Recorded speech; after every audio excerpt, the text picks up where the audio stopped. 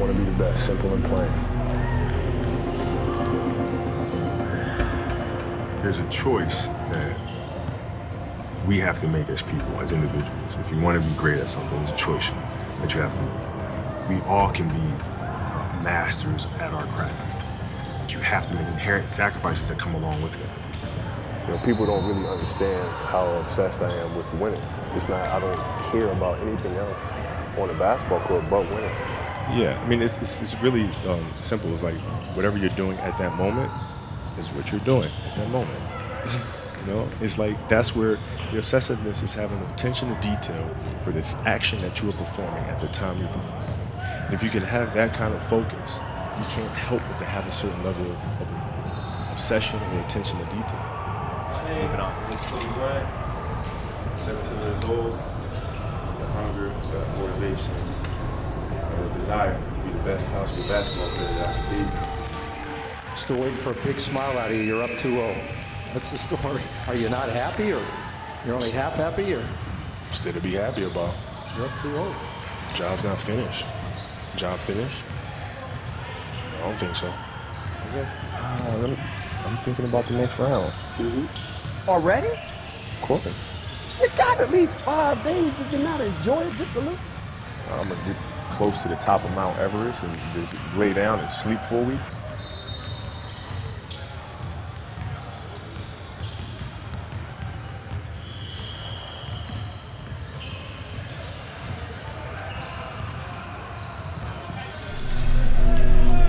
I want to be the best, simple and plain. And to be the best, you have to win. That's why I play the game. And that's what drives me. If I got to fight to get you in the gym, that's a problem. That's a problem. You want players that are gym rats, players that want to be in the gym, that want to work. And then from there, you build on top of that. But if you're lazy, man, I don't want to talk to you. I want to deal with you. You're going to make me feel dumber. You know, you know, you're going to lower my level. I don't think so. You just go over there. This guy is the best. How does that make you feel? I know you're kind of chuckling now because we can joke about it, but you're the best player in the nation for anybody in high school. It feels good. It's great confidence, but you have to keep moving on. I know a lot of guys who've been number one in the past years, and it just like just fell off the cliff.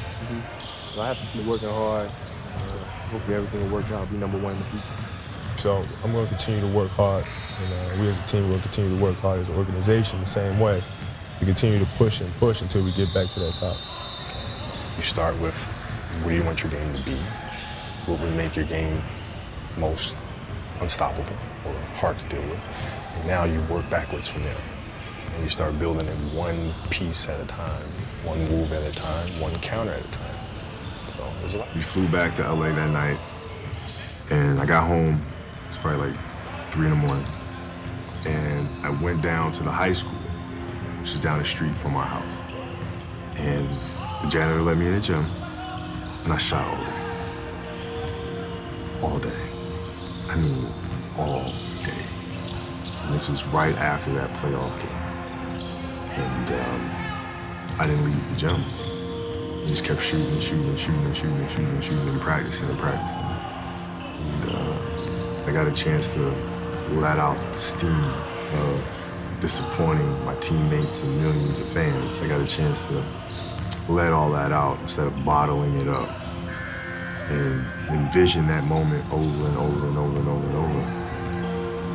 That that was a huge summer for me because I, I I felt like everybody had written me off after those air balls.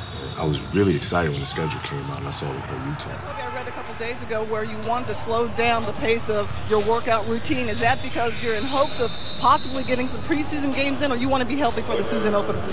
Well, I just try to listen to my body. You know, just kind of listen to it. We have a great staff here, and uh, you know, we just work hand in hand and just listen to how, how my body feels, and uh, just try to respond accordingly. Uh, we used to have an All-American camp that I used to go to. And, you know, at the time I first showed, I was a sophomore, and um, one of the things I would do is while everybody would be at the cafeteria, work, you know, eating and doing all sort of stuff, I just go back to the gym. I just go back to the gym. I mean, just, you They know, be resting, They'd be eating. re- and, they- and they'd see me leave. right? But now you're in a tough position because you're like, okay, I want to be like, I'm following the kid to go work out, but I know he's working, he's up early, and he's doing all this Wow. other stuff. And so that was my way of, sho- of showing them, yeah, yeah, I may be from the suburbs, but you're not going to outwork me. Wow. And I'm mentally going to. Did someone teach you that? It was really seem to you know, have bonding and understand that you know, if you want to get to that elite level, you really have to put in the work day in and day out. We'll with that, but I, I've worked extremely hard this summer to be able to play at a high level, uh, regardless of the minute. Right? If it's 30, if it's 48, I'm prepared to do whatever's necessary, and that's that's my job to do so. Anyway, my parents were, were great. You know, growing up, you know, they instilled in me the importance of imagination, of curiosity, and understanding that, okay, if you want to accomplish something, I'm not just going to sit here and say, yes, you can do whatever you want. Yes, you can, but you have to also put in the work to get there, right? So they taught me that at a really early age, man. And uh, when you grow up as a kid thinking that the world is your oyster, all things are possible if you put in the work to do it, you, know, you grow up having that fundamental belief. One of your uh, high school friends said, uh, when I was partying, he was playing basketball. When I was waking up, Kobe was playing basketball before class. How would you describe your dedication to the sport even back then? Well, I, I tried to find a balance, right? I tried to do both. You know, I, I had a great deal of energy. So um, if there was a school party going on or something like that, you know, I'd, I'd play basketball for a few hours. You know, I'd do what I had to do and have fun doing it. And then, you know, I'd go to the party. And I'd show up, and I'd have a good time, have fun, and I'd be up at 5 o'clock in the morning, you know, working out, working out and, you know, training the next day. So I, I tried to try to do both. 40 point games, 60 point games in three quarters. So, talk about what led up to the big monster 81 point game. Well, it was you know a thousand makes a day in the summertime, you know, and going through things just as I would during the game. So you know, I, I knew exactly where my positions were within the triangle and where, where the shots would be coming from. So everything that I did throughout the course of my training was literally simulating that. So it was all game shots. So when it came in the game, things were just automatic because I put my body through it before. You know, sometimes you get in the gym and you work out and you work on ball handling, you work on shooting but none of it's really within a structure of what you will be doing in the game. Mm-hmm. For me, it wasn't like that. It was literally carbon copy of what I'd be doing. So it, by the time the season came around, it was all just muscle memory. I understand there's different levels of focus and commitment to a craft. I, I get that completely. Guys want to go out and have a good time. I get that completely. However, you're going to do that and you show up to work the next day, you better be ready. Right? If you're going to do that, you better come to practice and you better be ready to go. If you're not, I'm gonna gonna let you know. And, and I think the message was sent pretty pretty clearly. Rest at the end, not in the middle. And that's something I always live by. Yeah, we're gonna work hard. And that's what training camp's about, preseason's about, is working hard, getting in shape, getting in condition. And uh, not so much about the games, but just, you know, the game is just another way to kind of, you know, get your exercise, get your win, get your rhythm. Uh, so we're pushing it in practice all week. And, uh, you know, I was able to focus on the game. Uh, you know, a lot of the credit goes to my wife for not only putting up with it, but supporting my work ethic. You know, because I work all day consistently. And she supported me, and um, you know, a lot of credit goes to her. But it's, it's simple. Like if you do the math on this, right? Like if you if you're thinking about how often kids are playing, right? I tell this to my to my daughter, and my daughter's team as well that I coach. It's a simple thing of math. If you want to be a great player, if you play every single day, two three hours, every single day, over the course of a year, how much better are you getting? Most kids will play maybe you know, an hour and a half, two days a week. Right. Do the math on that. It's not. It's not going. It's not going to get it done. It's not going to get it done, right? So if you're obsessive, obsessive, obsessively training two, three hours every single day over a year, over two years, Really accelerate. you make quantum leaps, man. Just doing it. If I could work that hard every day, with the being blessed with the physical tools that I have, what would my career be? And I made a promise to myself from that day that I was going to work that hard every single day, so that when I do retire, I have no regrets. And that was the most important thing for me is to leave no stone unturned, get better every single day. And if I lived that way, then over time, you know, I'd have something that was beautiful. But that was my philosophy. It seems like a pretty simple one, but you know, if you live your life to just get better every single day, You do that for 20 years, and what do you have? The kids are running. They've been running for two hours. Running, running, running. This one kid misses the line by like half inch. No, it wasn't even a half inch. He's like, not that much. like, he misses the touching line. Kobe's like, stop, stop, stop, stop, stop. We had to stop. We had to stop everything. And he's like, nobody gets shoes. And all these kids are like, Oh, they're mad at the kid. Yeah. They're like, touch the line. All you gotta do is touch the line. That's it. It's this much. Touch the line. and and you know Kobe's like nobody nobody gets shoes. You guys sit on the sideline. And then Kobe made this kid run suicides, which is another drill. Baseline, free throw line, baseline, half court, baseline, opposite free throw line, baseline, baseline, and back. Three in a row. Three times. You had to run three of them. Yeah. But But, the, the best part was, the best part was, uh, the last one. Kobe ran with this kid. He ran with this kid. Okay. Yeah. It's awesome.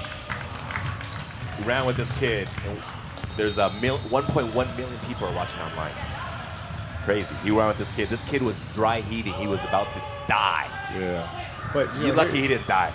No, he wasn't.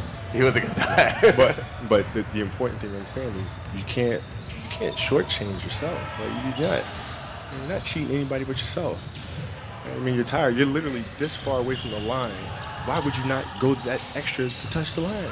Right. So if I let him get away with that, right, all of a sudden he starts maybe a cheat something over here, right? Not give his best over here. Not give his best over here. And as years go on, he's going to be extremely. He's not going to reach his full potential because he's been taking these little shortcuts that just add up, add up, add up, add up, add up. You can't let that happen. Our, our job as teachers, as mentors, as inspirers, it's our responsibility to hold them accountable to those things. Pressure's a funny thing.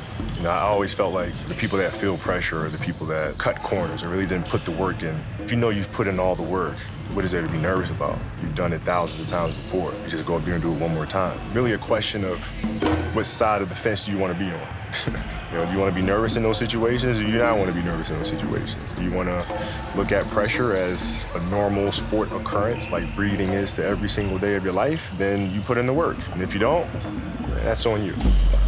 I think the best way to prove your, your value is to work, is to learn, is to absorb, uh, to be a sponge. You always want to outwork your potential. You know, as hard as you believe you can work, you can work harder than that. And that's what I tried to do when I first came in the league. But you know, basketball is such a direct competition sport that me coming in at 17, I hated when like my teammates would say, you know, I get hit with an elbow. Right? Shaq would hit me with an elbow in practice. And like, you know, Nick Van Exel would come up and say, Are you okay? What? Wow, are you okay? What the hell's wrong with you? You know, so like I always had that extra chip on my shoulder. So like every day in practice for me was really trying to annihilate everybody that was that I was playing against. Because I wanted to prove you don't need to babysit me. Like I, I'm fine, you know. Well, because you just focus on the day that you're playing. That, I mean, it's as simple as that. Like what, whatever you're doing in that moment, that's what you're doing. That's your sole focus. So you don't think about, you know, I have to do this for another year, or I have to do this for another two months. Just think about that moment. What are you doing at that moment in time? You focus on 100%. That happens to me. Like when I'm running, when I'm working out, I'm, I'm running. I do a lot of work on the track, and I'm running, and I'm really tired but the finish line is all the way on the other side. And if I look at where I have to run, I get even more tired. So what I do is I just look down. I just look down, I just look at my feet just moving. Then you ne- the next thing you know, I look up and I'm crossing the finish line. Well, well, well. Uh, uh sorry to digress for a second, but how does an air ball feel good? I just want to You know. because you know what? I, want to know that No, one. no, it's, not- it's a really good question. But you know, like sometimes you shoot the ball and you release it, and the trajectory feels good, your follow through is good. It's right there on target, it's in line, you're keeping the follow through up in the air, and then it goes short. Mm-hmm. But it feels good. Mm-hmm. So, you know, it's kind of like a shock to miss those sometimes. Now, after that experience, obviously that weighs very heavily on your mind, but ultimately, Kobe Bryant works on his game. Shaq, Shaquille O'Neal is right there in the house with you to begin with. Your game is elevated to another level. What did you do to get your game to that level specifically? For those out there, I mean, we got a whole bunch of basketball kids in the house. No, what did you do well- to get your game to that level? The prime example is uh, I've had, I've had a trainer, the same trainer's been training for the last 10 years, named Joe Carbone. And after I shot those air balls, you know, I sat there and I, I thought, as soon as we got, got on the plane, went back to LA that night, he and I met, and we went through the whole season, our training regimen. And the thing that we came down to was that you know, our conditioning program needed to be adapted. We needed to change it. All right, give it to me quick. What you do? And don't Well, think we- I'm just we- listening just for the television show. All summer long, we worked on our conditioning with the track. We did Olympic lifts. We went out there on the basketball court, and we did that, those three things in one day. And we did that all summer long. We broke them up in cycles. Uh, because at the end of the game, even though the shots felt good, the truth of the matter is, my legs were tired. I wasn't ready. You know, so what am I going to have to do now to get ready? So next time I'm in that position, I'm going to make those shots. Is that what you still do to this day? Oh, absolutely. I'm always asking why, you know, why didn't this work out? Okay, why did this work out? How can I make this better? How can I make that better? So I'm always asking those questions to improve. I think that's when the idea of understanding a long-term view became important. Because I wasn't going to catch these kids in a week. I wasn't going to catch them in a year, right? So that's when I sat down and said, okay, this is going to take some thought, right? What do I want to work on first?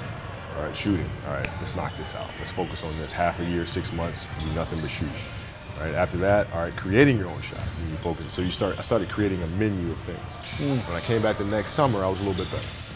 Right. And then you mean like I've got my jump shot from 15, I've got my yeah, I got my jump fadeaway, shot I've from got my- 15. I got my three-point shot, like just open shots, not miss open shots, right? Just be able to shoot it with speed because those kids are so much more athletic. Yeah. And then the next summer I came back, it was a little better. The summer came back, You next scored. summer it was a little better. I scored. Yeah, you know, it wasn't much, Right. but I scored. You This know? is 12, 13. 12, 13. And then 14 came around, back half of 13, 14 uh, years old, and then I was just killing everyone.